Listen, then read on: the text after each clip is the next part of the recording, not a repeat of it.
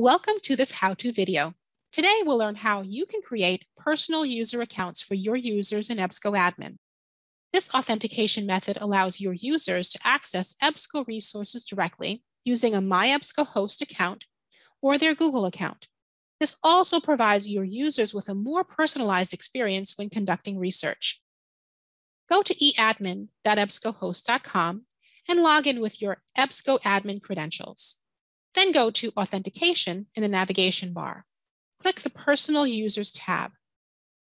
We'll start by reviewing the settings.